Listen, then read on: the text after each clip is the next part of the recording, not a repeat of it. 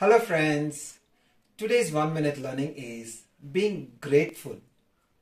Last night was the last night for many people across the world because they did not wake up this morning. We should be grateful or be happy for even the smallest things in life.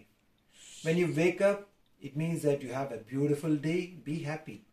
When you visit the bathroom, you have a when you open the tap, you have a water flowing, we should be happy. And when we open the rack or a wardrobe, you have a dress to wear, be happy.